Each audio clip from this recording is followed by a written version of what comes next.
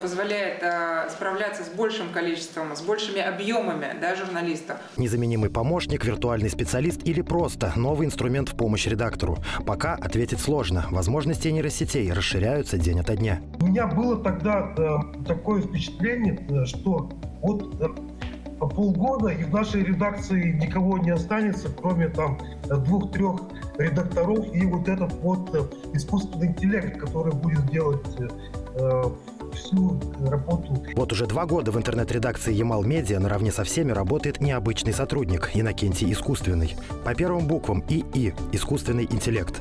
Ему под силу за считанные секунды переработать и обобщить огромный массив информации и выдать оригинальный, хотя и сырой текст. Наиболее удачно у нас получилось использовать искусственный интеллект для рерайтов больших текстов для превращения больших текстов в какие-то короткие выжимки. Естественно, это все с редакторской обработкой.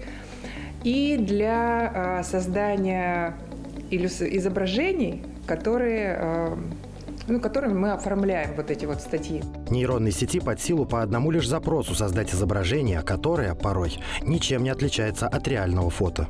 Они умеют э, генерировать, э, в зависимости от своей тренировки, различные изображения, могут создавать видео, то есть мы берем тебя, учим тебя танцевать, и потом э, накладываем определенные фильтры через нейронные сети, и ты уже танцуешь уже не ты, а, например, какой-нибудь публичный человек. Куда приведет технологический прогресс, предсказать сложно, но ясно одно. С каждым днем нейросети постоянно развиваются, ведь они способны сами себя обучать. Развитие высоких технологий идет семимильными шагами. Вполне вероятно, что уже в ближайшее время не останется сфер деятельности человека, где не используются широкие возможности искусственного интеллекта. Кто знает, как будет выглядеть наша редакция новостей буквально через несколько лет. Тагир Валиди, Максимилиан Волков, Владимир Зелинский, Антон Соболев.